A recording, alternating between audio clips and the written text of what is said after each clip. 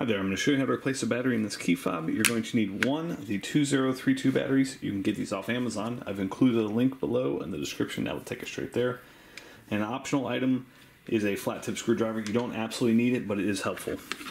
So what you want to do is push the back this way with your thumbs.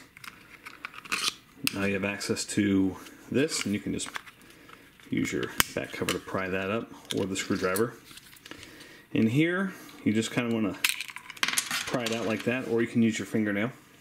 And your new battery goes in positive side facing up. This goes like that. And this back half here, you just slide back in like that.